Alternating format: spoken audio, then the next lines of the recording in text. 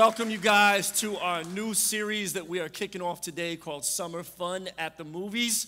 Uh, we haven't done this series in several years because nobody was going to the movies anymore. but now the movies are back. People are actually going back to the movies. And at the same time, I don't know if you've noticed, but now you can actually rent movies that are in the theater. Have y'all seen that? It's kind of crazy. They're expensive though. They're like $24.99. Like, whoa, okay, maybe I'll go to the movies and see it, right? Uh, so, so why movies? Why are we doing a series like this? Some of you just watched that trailer, like, we, we doing this in church? What's going on? Listen, when Jesus was here on the earth doing his, his ministry when he was 30 to 33 years old, he was known to be an incredible storyteller. Uh, he told parable, parables. And parables were uh, an ancient storytelling uh, thing that was popular in his day, and he used that to paint vivid pictures to draw people in and pull them in and parallel that and tie in scripture and tie in biblical truth. Fast forward to 2023, films are kind of like modern day parables. And, and so when we uh, see a movie, how many of y'all ever seen a movie before and you, you said, man, I've seen that in the Bible? Or, or there's this parallel, or God, God can speak to you through a movie, He can speak to you through a song, He can speak you through real life situations and circumstances that happen every day. God can speak through all kinds of things. So for these next couple of weeks, we're going to look at some some movies and pull out biblical truths and parallel them with some stories that we see in scripture as they kind of line up together. And I believe the next few weeks God is going to speak. God is going to show up here in new ways. God is going to remind us of some things that, uh, that we knew that we kind of forgot about or got a little bit foggy, right? So you just saw the trailer for the movie Hypnotic. And it just came out a couple of months ago. And in the movie, people can be triggered by a certain word, um, a certain like sound or action, or even like a look right? And, and it can kind of, the film calls it, then they move into a hypnotic construct. And they move into this mind state where what they think they're seeing is not fully real. And they begin to do some things that they normally wouldn't do if they were seeing things like they really were. Kind of sounds like sin, right? Temptation and sin can begin to like hypnotize us, put us almost into some kind of like spiritual mindset trance and pull us in, and we'll do some stuff we would normally never do, right? And then sometimes we snap out of it. We're like, oh my goodness, like what was I thinking? How many of y'all know sin can be intoxicating, y'all? It can pull us down the wrong path really quick and it can destroy our lives. Let me remind you there's a spiritual enemy that's trying to wreck your life. The last couple years, if your eyes have been open, uh, you've been able to notice the, the spiritual battle for our lives, it's got intensified for our souls and for the souls of our children. I mean, the Bible clearly states that our spiritual enemy, Satan, is out to rob, steal, kill, and destroy. He's out to get us, y'all. It's real. How many y'all know that? It's, it's a real thing, y'all. Um, he's trying to steal your God given purpose and hypnotize you with sin and sinful pleasures and all kinds of stuff. So, today I want to open up our eyes and, and remind us of that today. We're going to give you guys some tools to fight this battle some tools to heal when you fall, when you mess up, and some tools to even heal when people around you may fall and it directly impacts you. So I want to invite you to stand with me around the room. If you're worshiping online, what's up to y'all? You can stand up from the couch if you can as well. We're going to open up with our main scripture text that we're going to look at today. It's from uh, the book of Second Samuel in the Old Testament. Starting in chapter 11, we're going to look at verse 1. It says this says in the spring of the year when kings normally go out to war david sent joab and the israelite army to fight the ammonites. They destroyed the ammonite army and they laid siege to the city of Rabbah. however david stayed behind in jerusalem.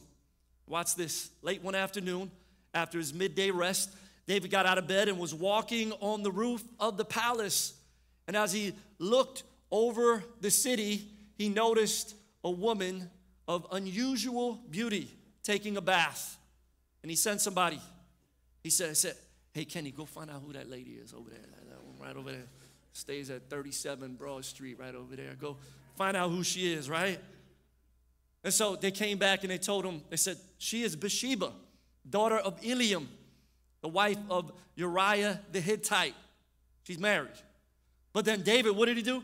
He sent messengers to get her. And when she came to the palace, he slept with her. She had just completed the purification rites after having her menstrual period, and then she returned home.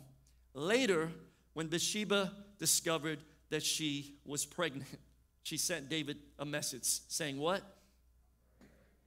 I'm pregnant, and you the father. What you gonna do about that, King? Listen, this is a biblical example of somebody that got like hypnotized by sin, and there was a quick consequence. She got pregnant. But instead of standing up and like admitting his fault and trying to make things right, what did he do? He tried to cover it up. And things got worse and worse and worse.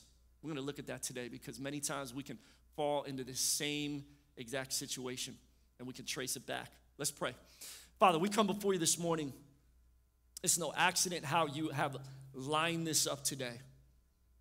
God, we prayed over six months ago about the series to start on June the 25th. This is what you put in front of us. And then several weeks ago, uh, we chose what movies were going to be on what days, and you knew what movie we needed to kick this series off for the season that our church would be in and some of the situations that have happened here and in our lives, and even what people are personally going through, God. That's how I know you're real. I continue to watch you line things up and set things up in a way that we never could know about. You're all knowing.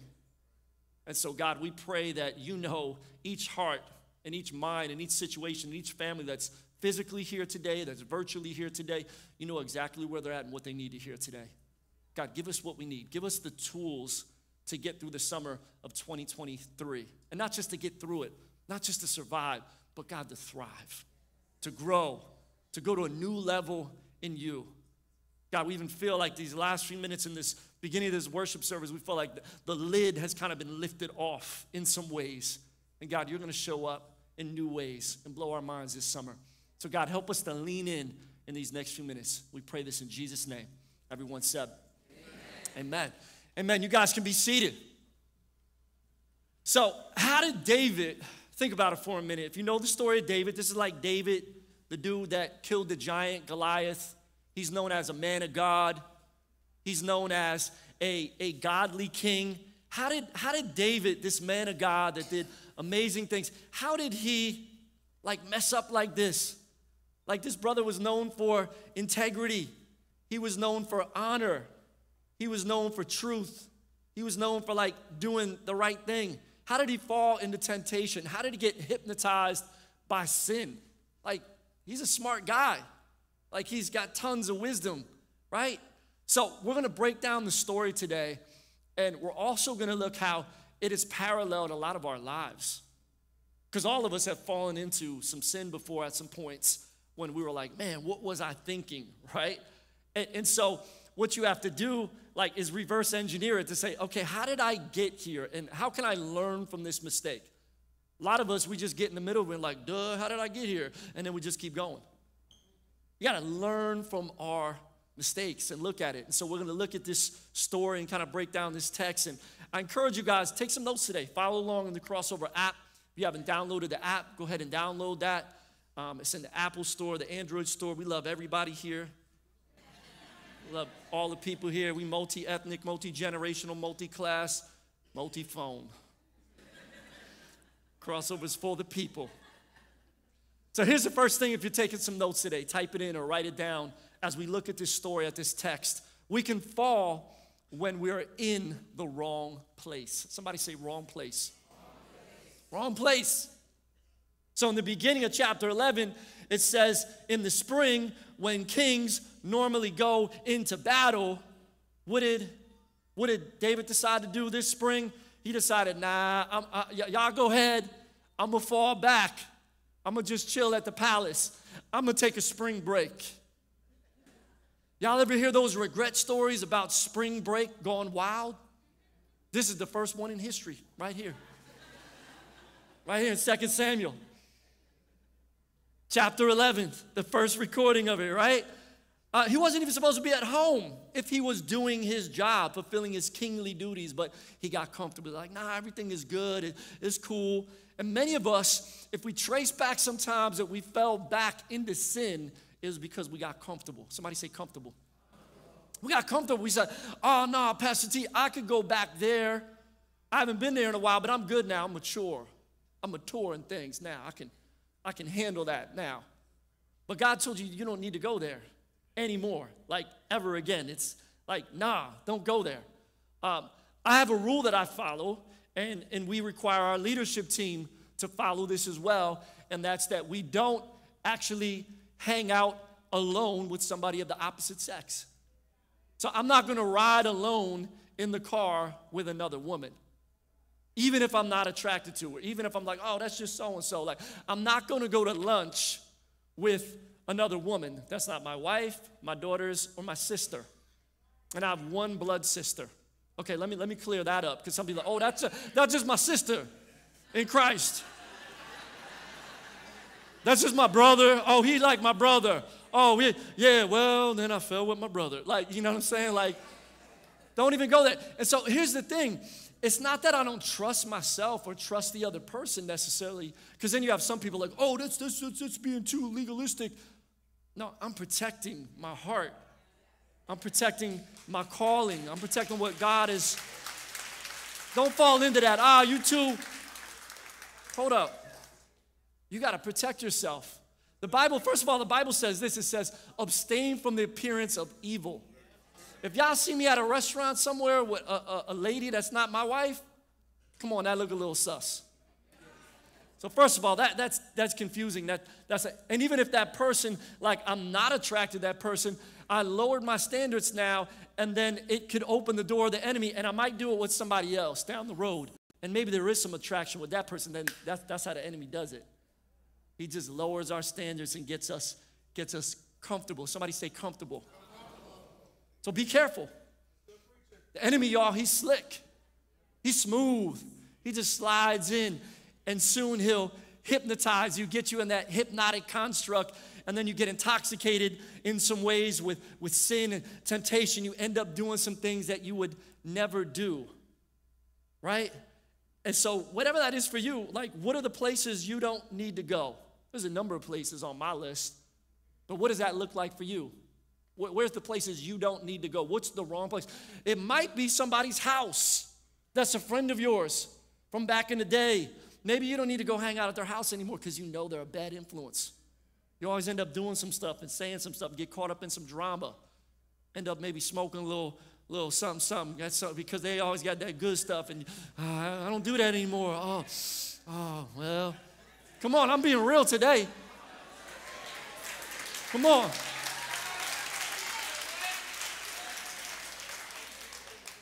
Listen, I'm ready to fight, y'all. I'm ready to fight because there, there is families in this church that are broken up today because they're like, it started with us smoking weed together. And it started down the wrong path. We got to spot that stuff we got to hold each other accountable. I shared this with our leadership team this morning, our volunteers. I said, man, everybody's like, oh, I don't want to judge. I don't want to judge nobody. The Bible says only God can judge. That's taken out of context.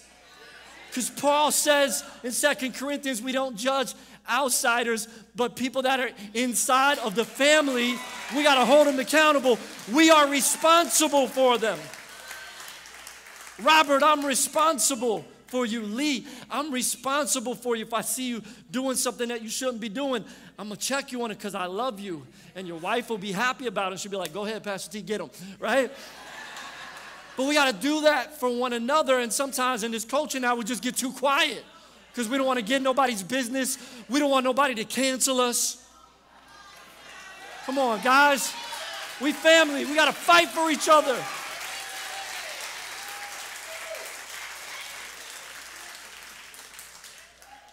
I'm going off script a little bit, but God's telling me to just listen.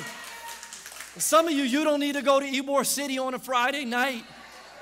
That's not the place for you. You don't need to go back to that. Some of you, you don't need to go to the sports bar because you end up drinking too much and then you do foolish stuff. Whatever that wrong place is for you, stay away. It's not worth it. It's not worth the destruction that it can bring in the long run because you just got too comfortable. Look at what happened with David. Second thing we see in this story, in this text, we can fall when we look at the wrong things. David's on the rooftop of the palace. Remember, he's not even supposed to be there. He's supposed to be out with his soldiers, right? He's there on the rooftop and he's up there and his eyes lock in with this lady that he sees two blocks away.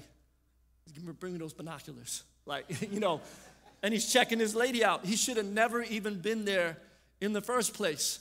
In this movie, Hypnotic, that we just saw the, the intro for, there's this guy in the movie, his name is Dev uh, Dellrayne, Lev Dellrayne. And this guy, he's got, he's got this lighter. And he does this thing with the lighter where he could just like light it. And man, he's like the master hypnotic guy. And he could just like make a sound or do something or lock eyes with somebody. And then people are like locked in. And he can tell them like whatever to do, whatever to think. In the movie, he calls some people to go after the main characters and try to kill them. And, and he can convince somebody like it's hot and suddenly like they'll start taking their clothes off right in the middle of the street and like all kinds of crazy stuff, right? And so listen, y'all, sin can cause us to do some things we really don't want to do. Sin can be mesmerizing. It can be kind of like hypnotizing. It could be like my wife said a few weeks ago, she said, sin fascinates before it assassinates. Oh, yeah, it's fascinating. Ooh, look at it. Ooh, watch out. It's going to get you. Like, don't play with it. Don't mess with it, y'all. Listen, I know we live in Florida and it's hot in the summertime, and there's a lot of people out there that don't wear as much clothes as they should. And so you're going to see some things in Florida. I know a lot of y'all are new. First summer in Florida, you're like, oh my goodness, look at people. Woo, oh. Listen, but you have a choice, men and women. I know men are more visually stimulated, but women can be as well. We all have a choice to, like, you're gonna see it, but are you gonna bounce your eyes and look away? Somebody say, bounce. Bounce, bounce your eyes and bounce. Like, some of y'all might be, find yourself in the wrong place. You're looking around like, oh my, oh Lord, I need, I gotta go.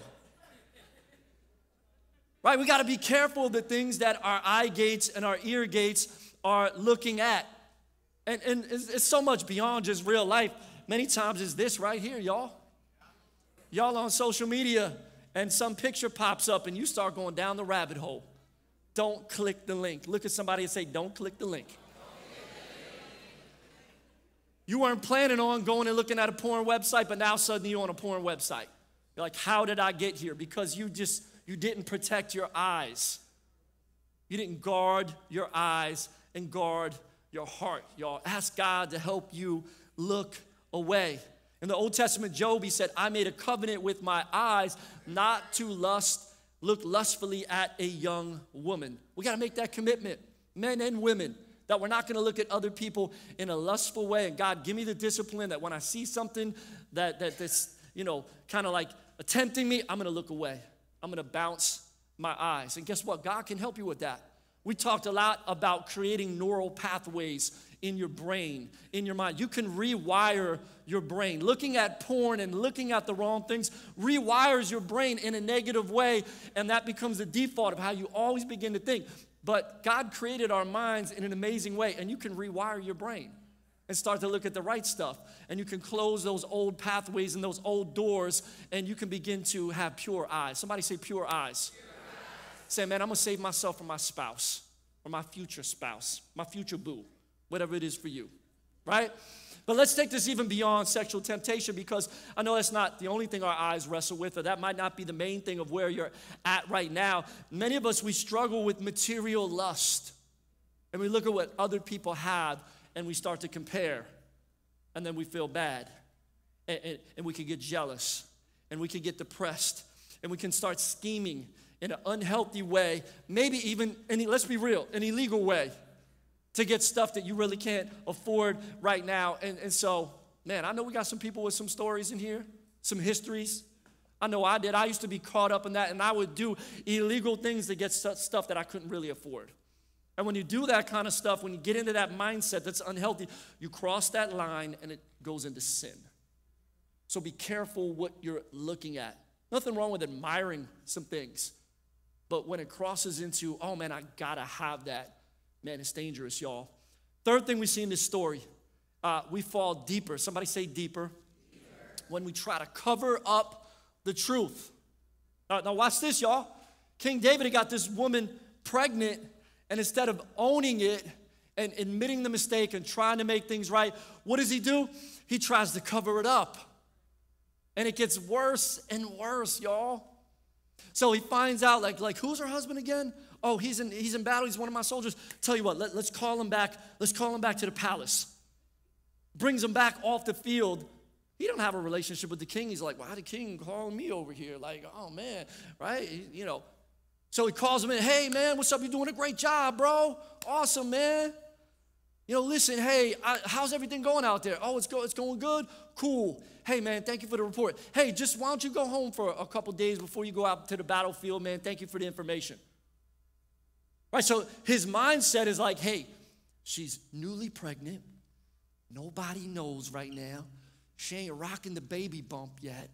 So if I can get her husband to come off the battlefield and go home ain't seen her in a couple months. You know what's gonna happen. He missed, they miss each other. They're gonna be intimate, and then like everybody's gonna think that it's his, it's his child. And I'm in the clear, I'm free. Whew, woo! But Uriah is such a stand-up guy. He's like, nah, King, I can't, I can't go lay with my wife when my soldiers are out there on the battlefield right now and they're in danger. And like, I just, I can't do that. That wouldn't be right. That doesn't sit right with me. You know, David's like, well, well, you know, you've been doing a good job. You know, you've been killing it out there. It's okay. Like, I'll give you permission. Nah, I can't do it, King. Right? Almost like it's a test, right? Like, you tested me, King? Like, I ain't doing it, right? And, and so, like, the next day, the, the scripture says he tried to get him drunk. Man, maybe if I just get him drunk a little bit. Kenny, bring that good stuff for him. You know, we're going to try to get him drunk and then send him. You take him, take him to his house, and then something will happen, right? He got him drunk. He still wouldn't go. He laid there like, you know, in the courtyard of the palace and didn't want to go home. So the king's finally like, man, I don't know what's going on. I got to come up with a, another idea. This is not working. That leads to the next point, the next part of the story. Number four, we fall even deeper when we use our power to manipulate others. Ooh. Look at verse 14, y'all. Story continues. So the next morning, David wrote a letter to Joab and gave it to Uriah to deliver. Now, hold up, let me stop right there. That was so foul. He gives him a letter, his death sentence, and says, Here, go deliver that to your supervisor, your commander. It's your death letter. He doesn't even know. He's just like, Yes, sir, yes, king. Awesome, man, I got you. And he's holding a letter in his hand that he doesn't realize that is his death sentence. Man, that's foul. That's foul. That's the level that you can stoop to when you get in this hypnotic construct of sin, right? And it says that letter instructed Joab station Uriah on the front lines where the battle is the fiercest, then pull back so that he will be killed. So Joab assigned Uriah to a spot close to the city wall where he knew the enemy's strongest men were fighting. And when the enemy soldiers came out of the city to fight, Uriah the Hittite was killed along with several Israelite soldiers. Man. David used his position of power and influence to have Bathsheba's husband killed. That's so wicked. That's so evil. I mean, it's just dripping with evil. It's like, man, how could you do that?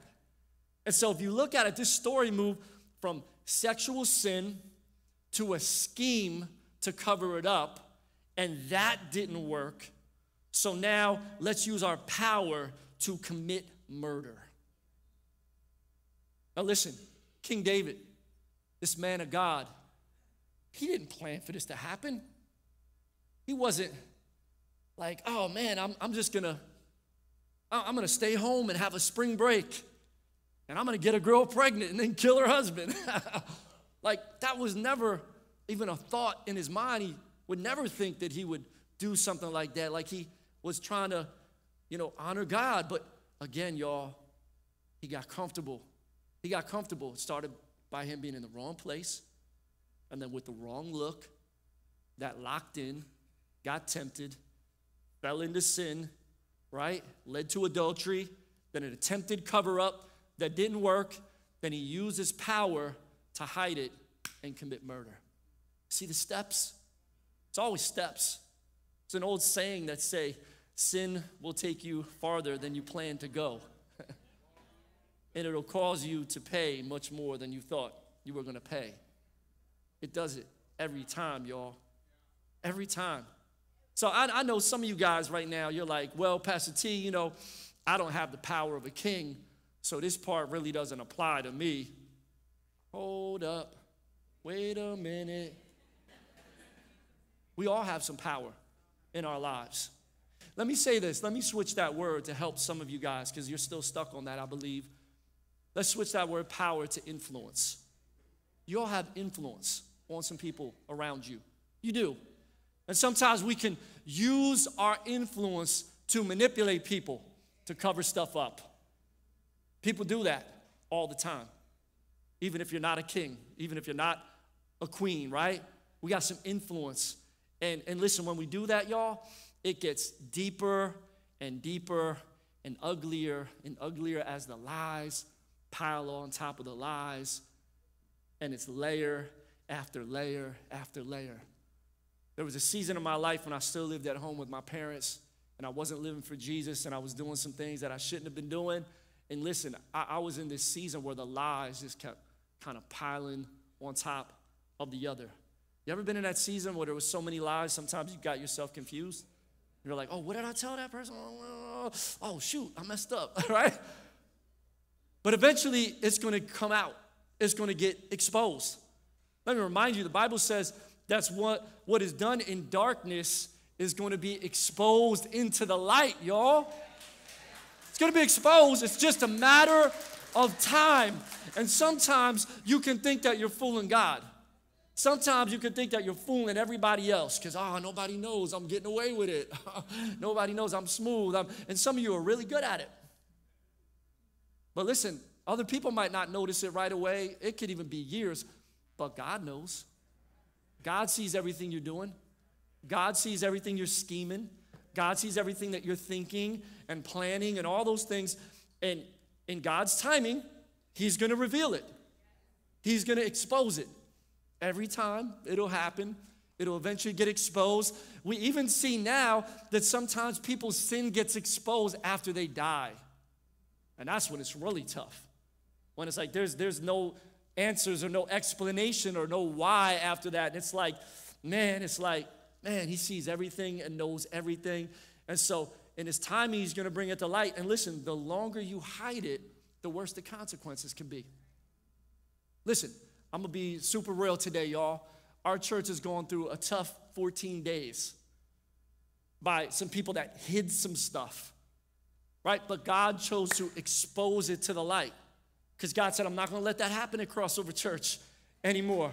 I'm moving there, lives are being changed. I got big plans for this community, this family, and God gives opportunities for us to come forward and be like, God, I, am sorry, I, I confess. And if we don't, He's going to eventually expose it. And God knew that this message was going to fall today. So our church could be in a season of waking up and realizing, let's learn from this and let's heal from this. And let's move forward now. Let's hold each other accountable on a new level. God has big plans for this community, y'all. So here's your homework. Here's your homework this week to read 2 Samuel chapter 12. See what happened to King David when it was revealed. It got revealed and exposed in a crazy way. He didn't confess. Somebody else came and read his email up and down. And the consequences were cray cray. You can go ahead and read it. I'm not even going to give the details, right? But, but I do want to give you some tools today, some steps before we get out of here, y'all. Uh, how do we heal and get restored after we fall and we get hypnotized by sin? I want to give you a couple important steps. Number one, if you're taking notes, number one is repent to God. Repent. That doesn't mean I'm sorry because I got caught, if that's the case. But repent biblically, it means a turning of the heart, a turning of the mind, and I'm no longer going to follow my own path. I'm no longer going to follow my own thoughts, but I'm now going to follow God's path for my life, and I'm going to try to now uh, think the thoughts of Christ. I'm going to try to be more Christ like.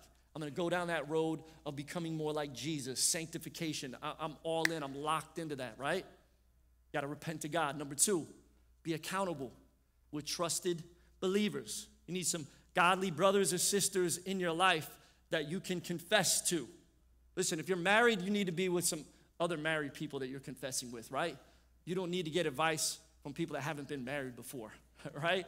Like, like so that, that's a real thing. Some of y'all getting advice from the wrong people. Oh, they're a Christian, but but they're they're telling you like the single path. And, and that's not what you're supposed to be hearing right now. You need some trusted, godly believers. Use wisdom. You can like confess some things to them.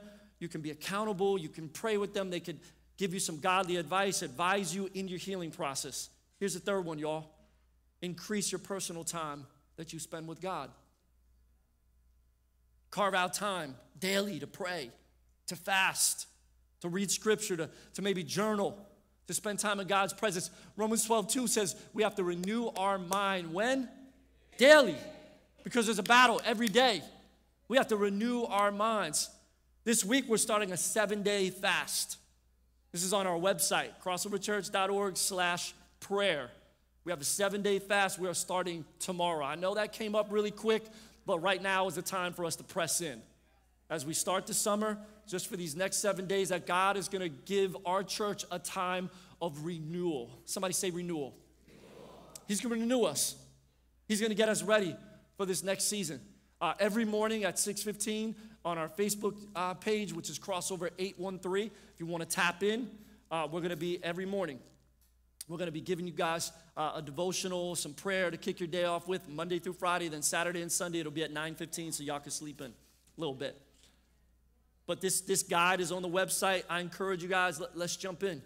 Let's go deeper this summer. Here's the fourth thing get more involved in your church community. Somebody say, lean in. Lean in. Lean in. Be here every time that we gather, not just once a month, not just whenever it fits in your schedule. Listen, sometimes, sometimes you take for granted what you have. There's a group of people that are here from Pennsylvania today. Shout out to Dr. V and some of the squad over here, Shayla and they were here yesterday at, the, the women's event. Shout out to my wife and the whole chosen team. Give it up for them. It was amazing. They had close to 100 ladies here yesterday. But when they come here, they're like, oh my gosh, I wish I lived in Tampa. I wish I would be in the front row every week. This is awesome. But some of us that live here, we're like, yeah, crossover's cool. I go when I can. Listen, be here every time we gather. Lean in. Get plugged in. Get involved. Start to serve on a team. When you start to serve on a team, it activates, the Holy Spirit activates something inside of you because you're not just thinking about yourself. You're thinking about others. You're using your talent and your time and your gifts to serve others, and it activates something inside of you. That's why we call our volunteers here activators. And if you want to become an activator, just go to the website. We'll get you plugged in to whatever your passion is.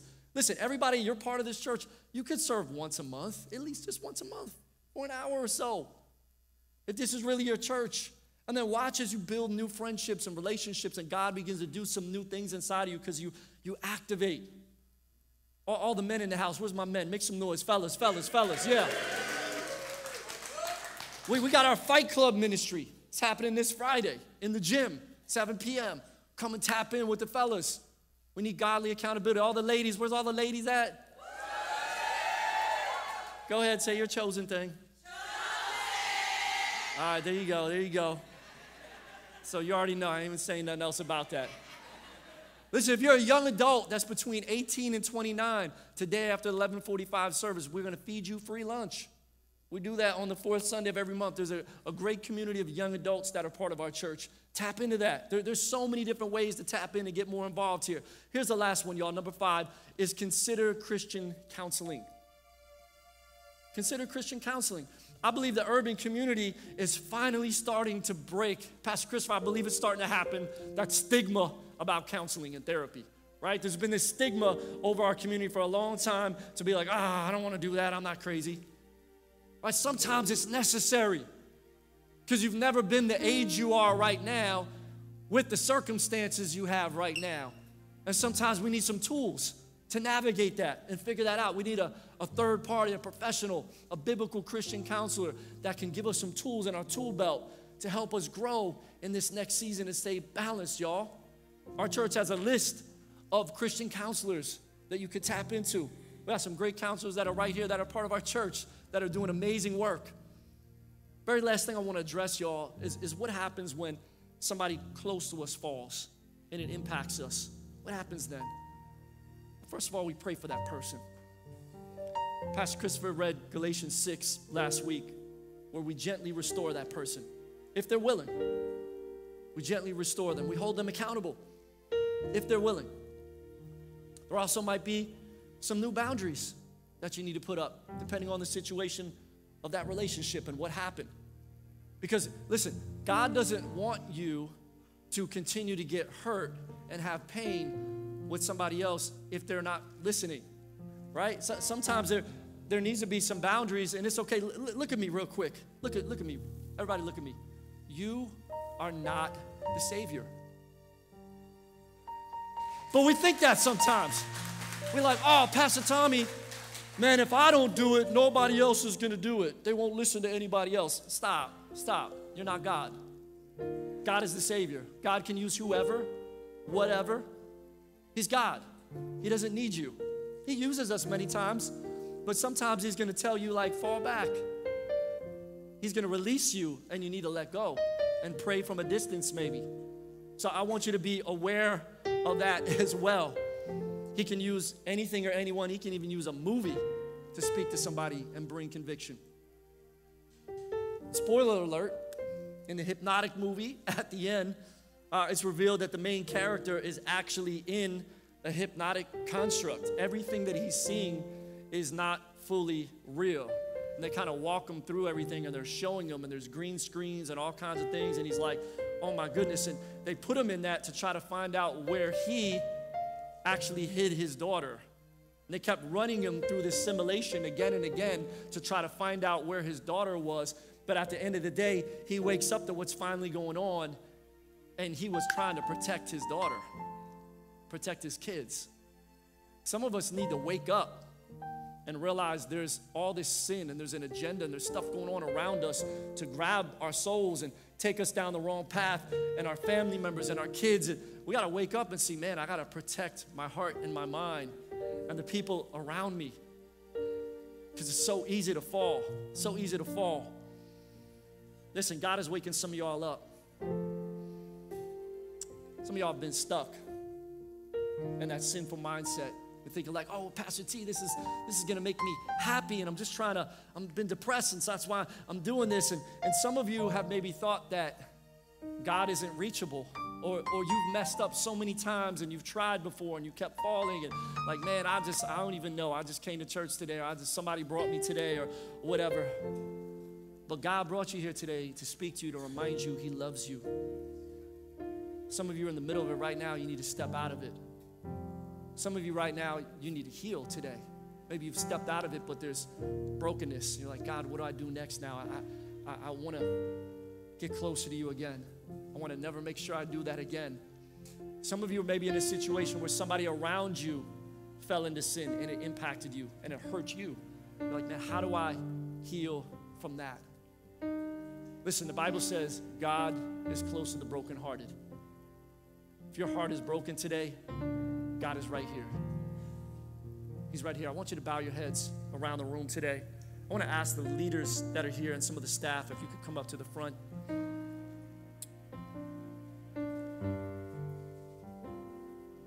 If you're here today and you could admit that God's talking to you today on some level, that's you today. I want you to just lift up your hand if that's you.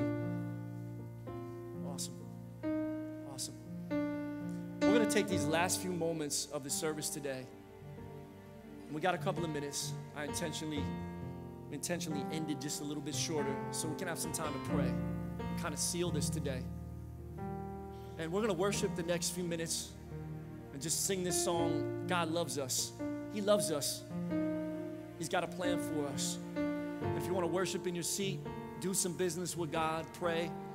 But if you want to get prayed for, some of our prayer team, some of our leadership team is down here in the front. If you want to come get prayed for, we're going to be available for the next few minutes. Then we're going to close out. We're going to pray together. So, uh, so let's worship. If you want to get prayed for, just make your way down here.